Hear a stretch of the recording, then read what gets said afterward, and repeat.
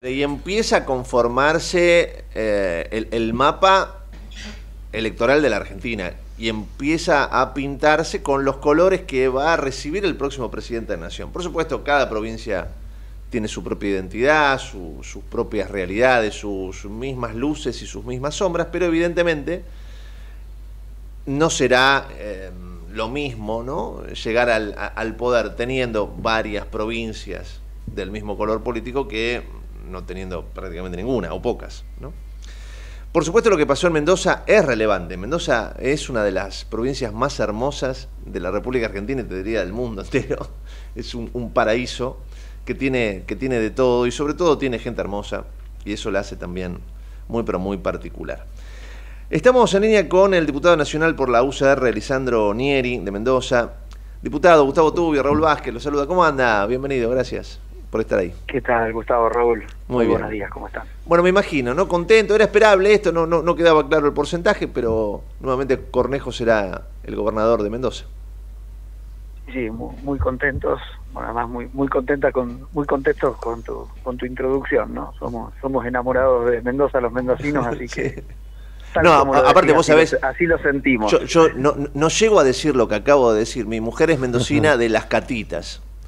Este, así que imagínate. Yo soy adoptado por Mendoza, pero puedo, puedo con más autoridad decirlo, ¿no? Al no ser de acá, desde muy chico que vivo acá, pero pero bueno, sí, sí, la verdad que es una provincia, una provincia hermosa.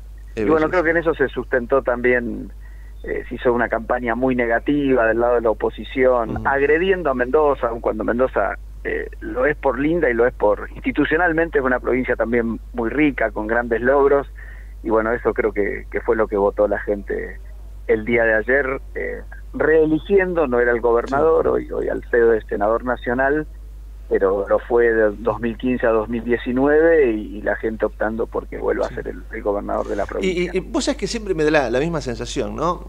Como vos decís, eh, Mendoza tiene todo, podría llegar a tener mucho más, o sea, es una provincia que productivamente podría ser aún muchísimo más grande, ¿no? Si, la, si eh, fuera parte de un país lógico.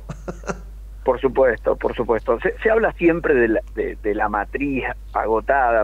Eh, Mendoza tiene una matriz productiva absolutamente diversificada, ¿no? Totalmente. Eh, eso hace que, que, bueno, cuando vuela el petróleo o, o, las oportunidades de las minerías, hay, provincias vecinas que pueden tener un, muy buen momento, pero también hay que saberlo. Después te, entras en una crisis de precios del petróleo y, y, bueno, se, están sometidas esas provincias lamentablemente a muchos vaivenes, ¿no? Mendoza es muy diversa, siempre hay algún sector que, está tirando.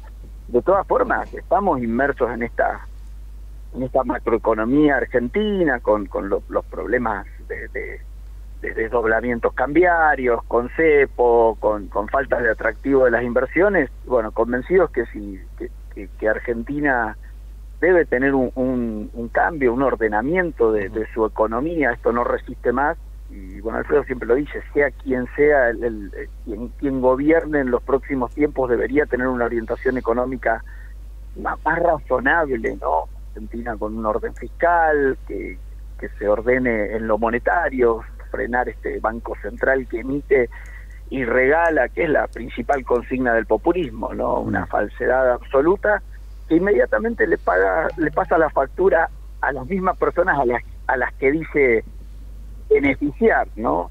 Entonces, eh, en, un, en, una economía ordenada, con un tipo de cambio competitivo, estamos convencidos que Mendoza tiene, tiene grandes oportunidades de crecer y de crecer a un ritmo superior al, al, promedio nacional. ¿no? Diputado Nieri, ¿cómo le va? Raúl Vázquez lo saluda, es un placer. Eh, lo que ha sucedido eh, eh, en Mendoza es también consecuencia de lo que viene sucediéndose, si se quiere, en el mapa político argentino desde hace, bueno, un, tiempo a esta parte, ¿no? Un nuevo mapa político donde en principio Juntos por el Cambio va a tener mucha injerencia justamente en ese mapa a partir de, mucho de muchos triunfos. Pero digo, también eh, me imagino que para muchos significa el renacimiento, si se quiere, tal vez sea exagerado, pero ese renacimiento de la UCR, ¿cómo están viviendo ustedes de esta manera eh, tan novedosa, una UCR imponiéndose en muchas cuestiones después de mucho tiempo, ¿no? Eh, me, me imagino que colocan al partido también en otra posición dentro de lo que es la alianza, ¿no? Sí, sí, por supuesto. claramente dentro de la alianza con, otro balanceo, eh, bueno, muy, muy conformes con, con, con la UCR gobernando. Creo que ya, ya tengo tantos números, creo que, que somos en seis provincias, ¿no?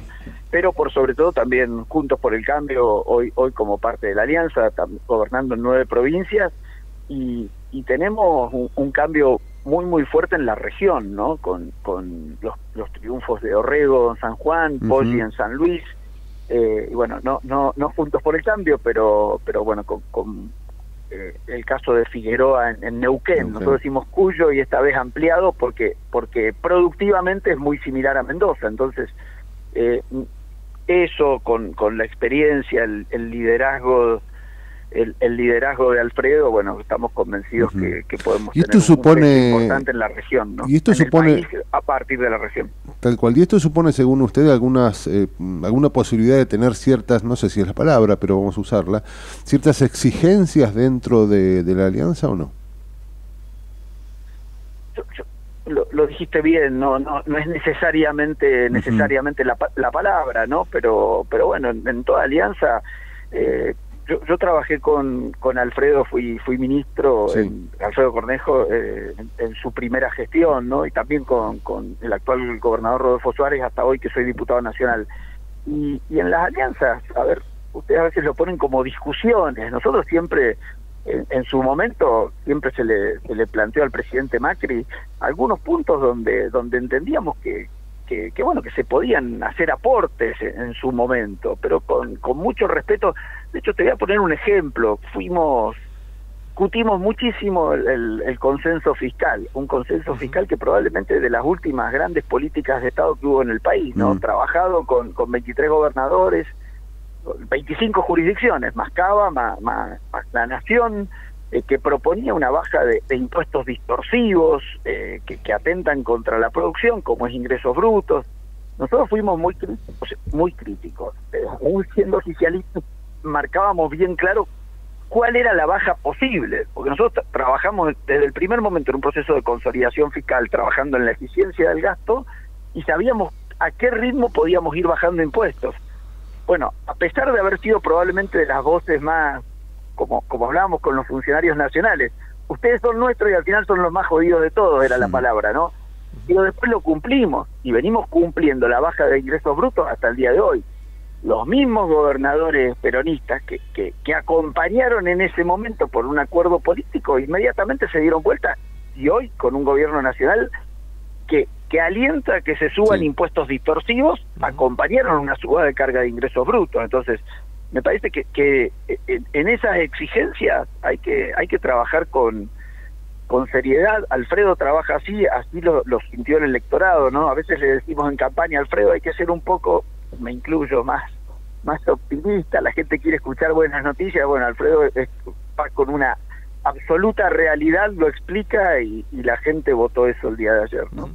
Em, no sé si tenés esta imagen, pero parece ser lo que está ocurriendo por un lado ah, tenés la, elección provincial, ¿no? Y en esa misma provincia, a la hora de votar a nivel nacional, el panorama es otro. Ha, ocurrido en Mendoza. Mendoza, en Las Paso, eh, Milei sacó un porcentaje de votos realmente importante. Y ahora, vos fíjate, unos días después, la realidad a nivel provincial termina siendo otra. Em, ¿Qué expectativa tenés para, para las generales? No, lo, lo, dijiste muy bien, lo dijimos siempre, la verdad que la gente eh, vota con, totalmente distinta cada una de las elecciones. Nosotros tenemos, ejemplo, algún municipio hoy, bueno, donde se reelige el, el peronismo, que, que, hace una muy buena elección municipal, dice apoyar a Massa, el, intendente, con una excelente elección municipal, y, y, bueno, y luego Massa saca 13% en ese departamento. Y nosotros ganamos a nivel provincial, o sea que, que las elecciones son totalmente distintas.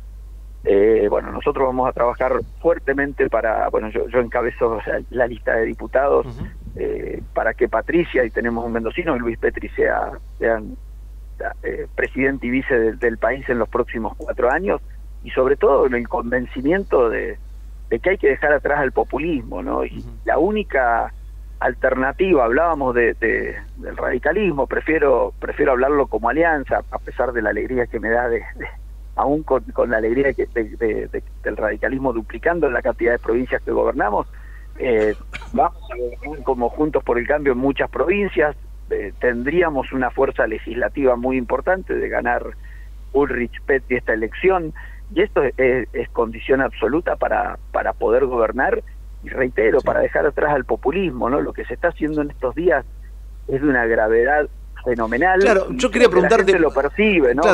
medidas, de, un populismo absoluto. Te prometen un presente, pero en los próximos días te mandan la factura del muerto. ahí está. Ahí, metes el dedo, el, dedo a donde yo quería ir, ¿no? Porque digo, vamos a, pararnos en, en esta situación. Gana Patricia, ¿no?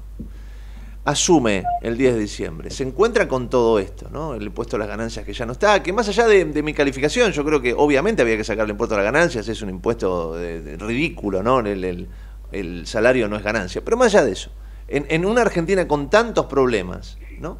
El próximo presidente, si es Massa, se tendrá que hacer cargo él si gana, ¿no? Pero si gana Patricia, por ejemplo, se tiene que hacer cargo de una situación tremenda, ¿no? Por supuesto, por supuesto, mencionabas ganancias que, bueno, eh, lo, podemos discutir y mucho, ¿no? en cualquier país del mundo, eh, quien, quien más ingresos tiene, más contribuye. Eso es un, impuesto progresivo, ¿no? Eh, lo que pasa es que acá nos sacaban a lo, que, a lo que no podíamos pagar las expensas. Te sacaban ganancias. Pero, por supuesto, porque, porque era un impuesto que requería de una corrección, pero la ¿por qué se, se generó esto con el impuesto a las ganancias? Y volvemos al populismo que se financia con inflación de con el peor de los impuestos y no corrigió nunca el mínimo no imponible y nunca corrigió tampoco la tabla. Son 20 años de, de, estar distorsionando todo absolutamente. Ahora, vamos a algo mucho más palpable, digamos, menos, menos técnico.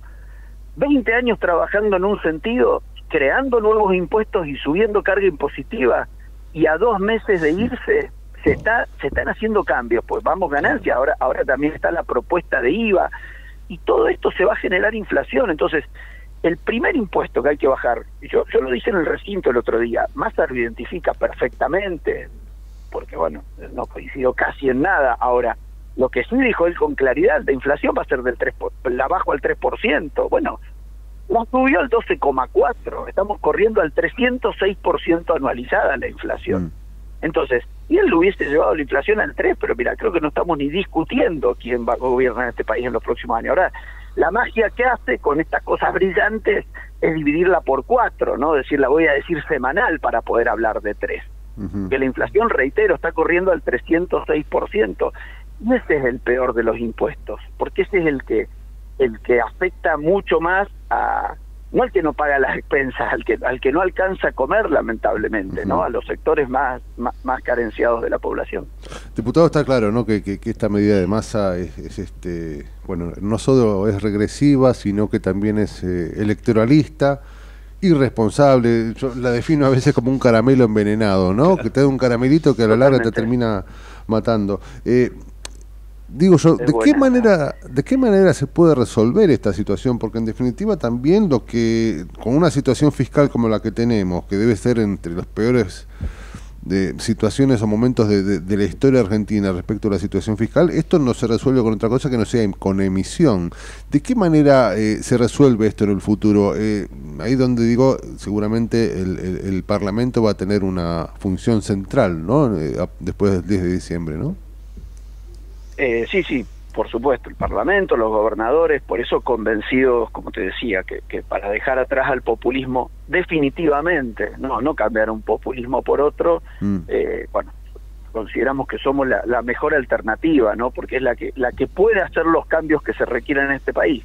¿De qué manera? A ver, primero con mucha realidad, los, los, impuestos está claro que son, que son antipáticos, ahora también son necesarios para que un Estado pueda prestar servicios, ¿no? Hablar hablar, hizo mi ley el otro día, de un Estado criminal y, después dijo, eh, yo para mí todo lo que sea bajar impuestos, para mí también todo lo que sea bajar impuestos es bueno. Ahora, hay que ser bien claro dónde lo podemos bajar.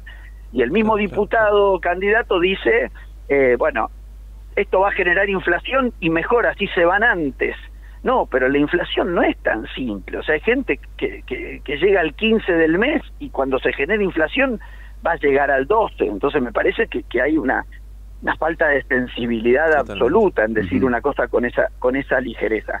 ¿De qué se resuelve? Mira, parece muy complejo, pero a la vez creo que es bastante sencillo. No podemos tener un Estado que de manera permanente más gaste más de lo que tiene, porque es falso. Eso se, eso se soluciona emitiendo y eso es pasándole la boleta de, la macana, o sea, el, el, efecto del veneno de este caramelo que, que me gusta, lo, te lo voy a robar un poquito para, para, para las veces que hay que explicar. Eh, bueno, eh, recae sobre los sectores más, más humildes de la población, porque eso es lo que hace eso es lo que hace la inflación, ¿no? Lo que pasa es que hoy dicen, bueno, hoy te soluciono ganancias, sí, perfecto. A quien gana un millón, un millón y medio, un millón ochocientos, setecientos setenta mil pesos.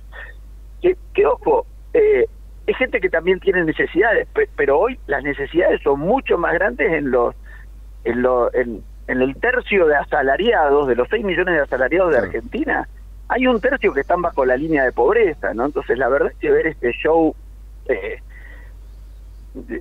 que transformar el, el, recinto en un, en un comité de, del candidato Massa con, con los sindicalistas aplaudiendo en vez de en vez de preocuparse en ayudar y exigirle al ministro que solucione lo que debería estar trabajando y hacer y hacer ahora, que es bajar la inflación. Lejos de eso está generando mucha más. Sí, qué, qué desvergüenza, digo, porque, a ver, vuelvo al, escenario posible de, Patricia. ¿no? Todos sabemos que si llega a ganar Patricia, y la, CGT va a volver a, las calles, le van a hacer 14 paros generales. Ahora, ni, un, ni un paro por una inflación que está. A ver, la única vez que salieron a la calle fue para aplaudir al gobierno. La única vez que salieron fue para, aplaudir al gobierno. Yo lo que decía, por supuesto. Yo lo que decía, sí, claro, o, hubo una especie de protesta contra la inflación, pero si la inflación no tiene dueño y la inflación es el gobierno, o sea, Guzmán tenía inflación, Massa, Massa va, lo está dejando atrás pobre en, tan solo un año. Ahora, yo reconozco que hay una, una emergencia en Argentina, que es una emergencia de pobreza, de ingresos reales que se destrozan más que mes a mes, día a día se van destrozando los ingresos, ¿no? Todos vemos cómo, cómo se nos derriten los pesos en el bolsillo. Observando eso, hay que tomar medidas, hay que actuar.